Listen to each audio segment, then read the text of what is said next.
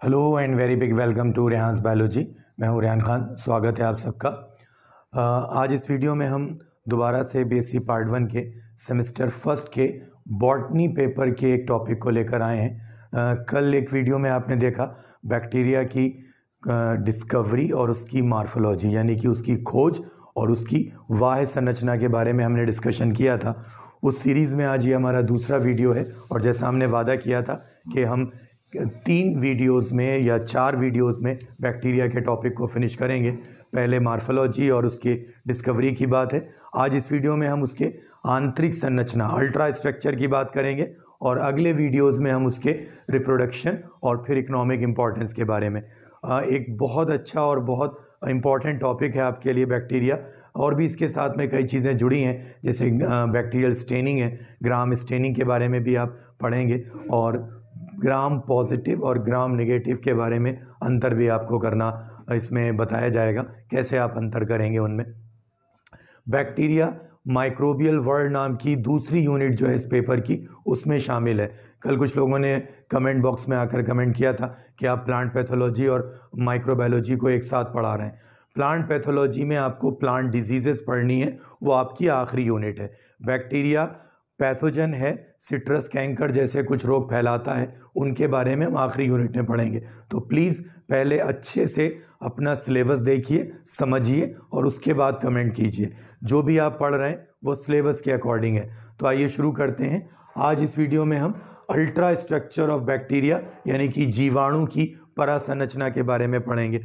पहले कुछ चीज़ें जान लीजिए बैक्टीरिया के बारे में, कि बैक्टीरिया जो हैं, वो प्रोकैरियोटिक प्लांट सेल्स हैं।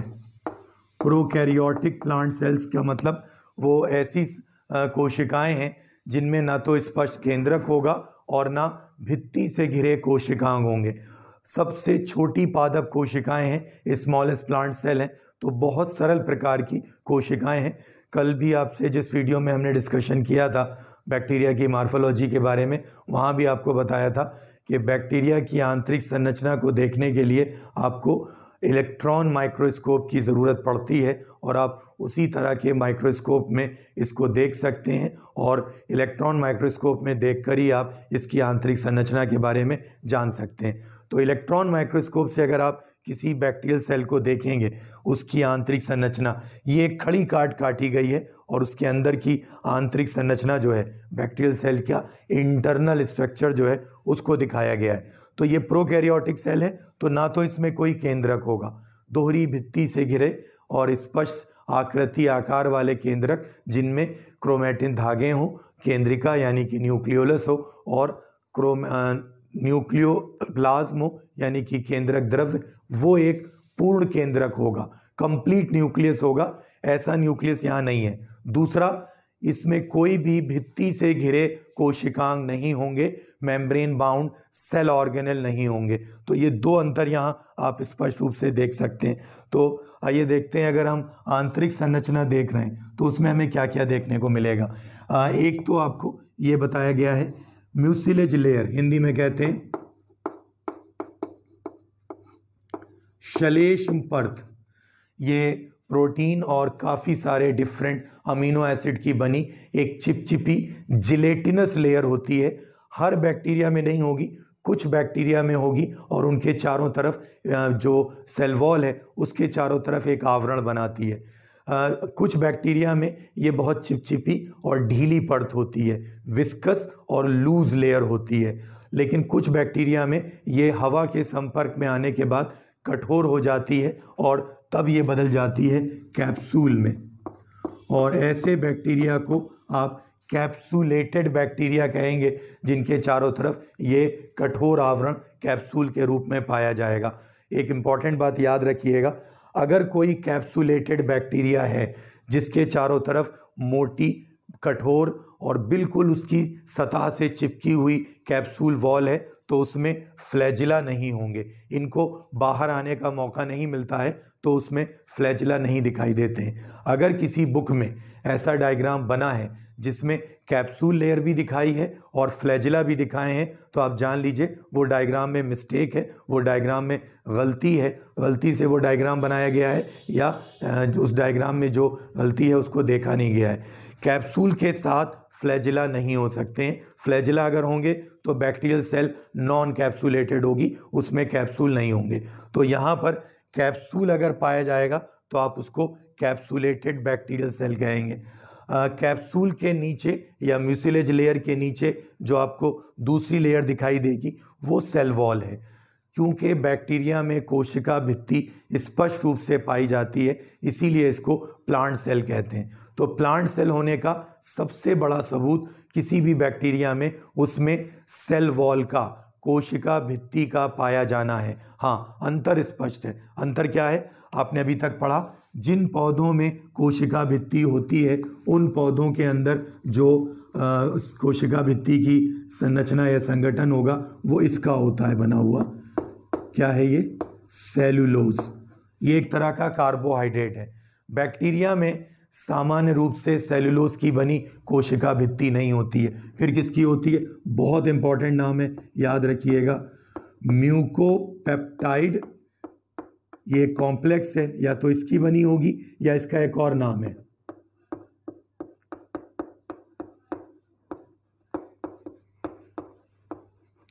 पेप्टाइडोग्लाइकैन।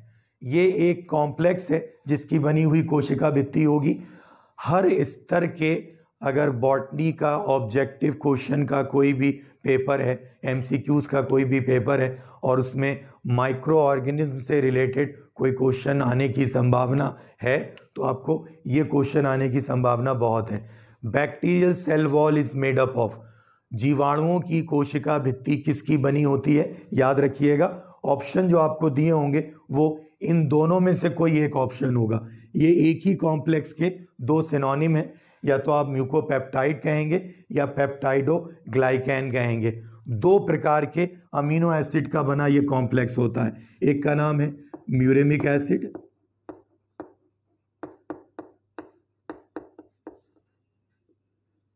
और दूसरे का नाम है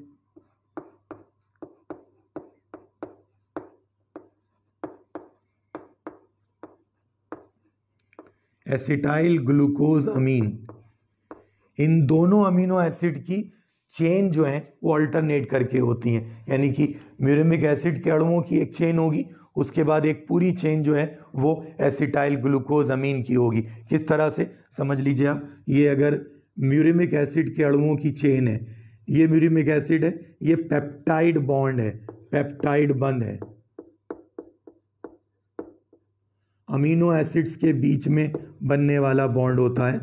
तो ये पेप्टाइड बॉन्ड के द्वारा ये म्यूरेमिक एसिड के अणु जो हैं, वो एक चेन के रूप में व्यवस्थित हैं। दूसरी चेन जो है, वो एसिटाइल ग्लूकोज अमीन की होगी। ये एसिटाइल ग्लूकोज अमीन की चेन है और ये दोनों प्रकार की चेन जो हैं, वो तिरछे बॉन्ड्स द्वारा या तिरछे बंधों द्वारा इस तरह के ऑब्लिक बॉन्ड्स द्वारा आपस में जुड़ी रहती हैं। ये एक म्यूरेमिक एसिड की थी, ये ग्लूकोज अमीन की थी, उसके बाद फिर से म्यूरेमिक एसिड की दूसरी चेन आ गई और उसके बाद फिर से एसिटाइल ग्लूकोज अमीन की चेन आ जाएगी। तो इस तरह से इन चेन्स के अल्टरनेट रूप से व्यवस्थित होने पर जो कॉम्प्लेक्स निर्मित होता है, उसे म्यूरेमिक एसिड या एसिटाइल ग्लूकोज अमीन कहते हैं और उसमें ये तिरछे बंद होते हैं, इस तरह के बॉन्ड्स होते हैं, जो इनको आपस में जोड़ते हैं। तो इन्हीं अल्टरनेट चेन्स के द्वारा पूरी सेल वॉल बनी होती है और जो इनके मिलने से कॉम्प्लेक्स तैयार होता है, उसे म्यूकोपेप्टाइड या पेप्टाइडोग्लाइकैन कहते हैं। बहुत इंपॉर्टेंट आपके लिए पॉइंट है, याद रखिएगा। कोशिका भित्ति जो है जीवाणुओं की या बैक्टीरिया की जो सेल वॉल है, ये पेप्टाइडोग्लाइकैन या म्यूकोपेप्टाइड की बनी होती है। सेल वॉल के नीचे आप देखिए एज यूजुअल प्लाज्मा मेम्ब्रेन होगी। ये प्लाज्मा मेम्ब्रेन है, ये जो दिखाई जा रही है। कुछ बैक्टीरिया में, सब में नहीं, कुछ बैक्टीरिया में प्लाज्मा मेम्ब्रेन कई जगह पर अंदर की तरफ़ मुड़ी होती है। पॉकेट लाइक स्ट्रक्चर बनाती है, उनको मीसोसोम्स कहते हैं। ये भी इंपॉर्टेंट आपके लिए पॉइंट है ऑब्जेक्टिव क्वेश्चन के पर्पज से पूछा जाता है मीसोसोम्स क्या होते हैं? तो इनवर्ड्स फोल्डिंग अंदर की तरफ़ मुड़ी हुई वाह वृद्धियाँ जो प्लाज्मा मेम्ब्रेन से निकलती हैं, बैक्टीरिया के, वो मीसोसोम्स कहलाती हैं। पहले माना जाता था कि इनकी सतह पर रेस्पिरेटरी एंजाइम्स पाए जाते हैं तो ये माइटोकॉन्ड्रिया के जैसी संरचनाएँ हैं एनालॉगस स्ट्रक्चर हैं उनके, जो यू में संरचनाएँ पाई जाती हैं, कोशिकांग माइटोकॉन्ड्रिया ये उनके जैसे संरचनाएँ हैं। लेकिन ना तो इन पर कभी रेस्पिरेटरी एंजाइम्स को खोजा गया, न कभी वहाँ से आइसोलेट किए गए।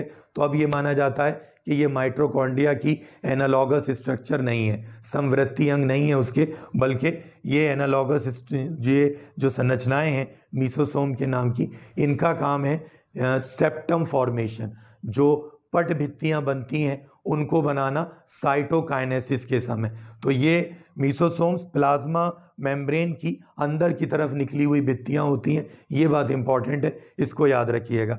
इसके नीचे जो है, ये कोशिका द्रव है। ये सारा इस कोशिका के अंदर भरा हुआ कोशिका द्रव है। गाढ़ा, दानेदार डेंस ग्रैन्युलर साइटोप्लाज्म जो है, वो बैक्टीरिया की सेल के अंदर होता है। आम तौर पर अगर आप कोई यूकैरियोटिक सेल देखेंगे तो उसके साइटोप्लाज्म के मध्य में एक बड़ा स्पष्ट केंद्रक होगा। यहाँ नहीं होता है। यहाँ पर उसकी जगह आप देखिए, द्विसूत्री गोलाकार डीएनए होता है। कोई चारों तरफ़ इसके भित्ती नहीं है, कोई इसके साथ न्यूक्लियोप्लाज्म नहीं है तो ये अधूरा केंद्रक है। कुछ वैज्ञानिक इसको बैक्टीरियल क्रोमोसोम कहते हैं, लेकिन अधिकतर इसको न्यूक्लियोइड या जीनोफोर कहते हैं। दोनों इंपॉर्टेंट नाम है, याद रखिएगा। और चूँकि ये अधूरा केंद्रक है तो इसलिए इसको इंसीपियंट न्यूक्लियस भी कहते हैं। इंसीपियंट मीन्स इनकम्प्लीट अधूरा। तो हर बैक्टीरियल सेल के सेंटर में एक बड़ा द्विसूत्री गोलाकार डीएनए होता है, जो उनके केंद्रक के रूप में कार्य करता है। कुछ बैक्टीरियल सेल में ऐसे ही द्विसूत्री गोलाकार डीएनए से बहुत छोटे, इसके आकार के दसवें भाग के बराबर छोटे छोटे ये डीएनए के अणु भी पाए जाते हैं। ये है, ये डीएनए के अणु दिख रहे हैं आपको, ये बिल्कुल इसी के जैसे हैं, लेकिन आकार में बहुत छोटे हैं। इनको कहते हैं प्लाज्मिड्स। इनका क्या काम है? ये आप आगे पढ़ेंगे जब आप बायोटेक्नोलॉजी पढ़ेंगे। लेकिन यहाँ फ़िलहाल इनको एक्स्ट्रा क्रोमोसोमल डीएनए भी कहते हैं, इन पर कुछ ख़ास तरह के जीन्स होते हैं, जो या तो बैक्टीरियल सेल को रेसिस्टेंस प्रोवाइड करते हैं अगेंस्ट एंटीबायोटिक्स एंटीबायोटिक्स के प्रति प्रतिरोध क्षमता प्रदान करते हैं, या इसमें लैंगिक जनन में सहायता करने की क्षमता प्रदान करते हैं तो उस तरह के जीन होते हैं, लेकिन ये हर बैक्टीरियल सेल में नहीं होते हैं। कुछ बैक्टीरिया में होते हैं, इनको प्लाज्मिड्स कहते हैं। अगर ये इस बैक्टीरियल सेल, इस बैक्टीरिया के डीएनए के साथ में जुड़ जाएँगे तो इन्हीं को ईपीसोम्स भी कहते हैं। इसके अलावा इस कोशिका द्रव में एक बहुत इंपॉर्टेंट स्ट्रक्चर है, ये वाले। ये आप याद रखिएगा, सेवेंटी एस राइबोसोम पाए जाते हैं। बैक्टीरियल सेल, प्रोकैरियोटिक सेल होती हैं और प्रोकैरियोटिक सेल में जो राइबोसोम पाए जाते हैं वो सेवेंटी एस प्रकार के होते हैं और वो आ, अकेले नहीं होते वो एक आरएनए के एक M R mRNA messenger RNA होता है उसके साथ में जुड़े रहते हैं एक श्रृंखला के रूप में। एमआरएनए का एक सूत्र या एक धागा होता है उसके साथ पचास साठ या उससे भी ज़्यादा राइबोसोम ऐसे जुड़े रहते हैं। तो उनकी जो श्रृंखला है उसे पॉलीसोम या पॉलीराइबोसोम कहते हैं तो वो आपको बहुत सारे मिलेंगे। कितने होंगे? एक सामान्य बैक्टीरियल सेल में राइबोसोम की संख्या 25 से तीस हज़ार तक हो सकती है और सब आपको ऐसे ही मिलेंगे। इसके अलावा कोशिका द्रव में कुछ आपको संचित भोज्य पदार्थ के कण भी देखने को मिलेंगे। ये संरचना जो दिख रही है आपको, इसके बारे में हम पिछले वीडियो में बात कर चुके हैं। इसको फ्लैजिला कहते हैं। ये फ्लैजिलिन प्रोटीन की बनी धागे के समान संरचना है। प्लाज्मा भित्ति के नीचे ये एक विशेष संरचना है। इसको कहते हैं बेसल ग्रैन्यूल। प्रोटीन का बना एक कण है ये, और इसी से फ्लैजिला की उत्पत्ति होती है। इसी से फ्लैजिला ओरिजिनेट होता है। तो ये बेसल ग्रैन्यूल फ्लैजिला उत्पन्न करता है, और ये फ्लैजिला अपनी संख्या और स्थिति में अलग अलग होते हैं। अभी जो आपको दिख रहा है, इस बैक्टीरियल सेल के, जो कि छड़ नुमा है, रॉड शेप है, इसके केवल अगले सिरे पर एक फ्लैजिला है तो ये सेल कहलाएगी मोनोट्राइकस। पिछले वीडियो में आप पढ़ चुके हैं। अगर इसके दोनों सिरों पर एक एक फ्लैजिला होता तो उसको कहते एम्फीट्राइकस। इसकी पूरी सतह पर बहुत सारे अगर फ्लैजिला होते तो कहते पेरीट्राइकस, और अगर इस पर कोई फ्लैजिला नहीं होता तो कहते एट्राइकस। तो ये फ्लैजिला की आंतरिक संरचना है, और बहुत ज़्यादा जटिल संरचना नहीं है। आसान है, क्योंकि ये सबसे छोटे आकार की प्रोकैरियोटिक कोशिकाएँ उम्मीद है आपको ये संरचना के बारे में जो हमने डिस्कशन किया, समझ आया होगा, पसंद आया होगा लाइक कीजिए शेयर कीजिए और अगर आप बीएससी पार्ट वन के स्टूडेंट हैं तो ज़रूर शेयर कीजिए लिंक को भी और आप भी सब्सक्राइब कीजिए रेहांस बायोलॉजी को। अगले वीडियो में, चूँकि हमने आपके वादा किया है आपसे कि हम मंडे ट्यूसडे और वेंसडे तीन दिन बॉटनी के आपके टॉपिक्स के वीडियो लेकर आएँगे बीएससी पार्ट वन के सेमेस्टर फ़र्स्ट के, और आपका सिलेबस पूरा कराएँगे। जितने टॉपिक आपके हैं, आप धैर्य से, आराम से, घर से अपने बैठकर पढ़ रहे हैं तो बहुत आराम से इतमान से पूरा वीडियो देखिए, और हर टॉपिक के बारे में हम वीडियो आपको देंगे। तो अगले वीडियो में हम बैक्टीरिया में जनन की जो क्रियाएँ हैं, उनके बारे में डिस्कशन करेंगे, और उसके बाद ग्राम स्टेनिंग और इसकी इकोनॉमिक इम्पॉर्टेंस इनके बारे में चर्चा करेंगे। तो उम्मीद है आज का वीडियो आपको पसंद आया होगा। लाइक कीजिए और ज़रूर सब्सक्राइब कीजिए रेहांस बायोलॉजी को। आप चाहें तो इसका स्क्रीनशॉट ले सकते हैं।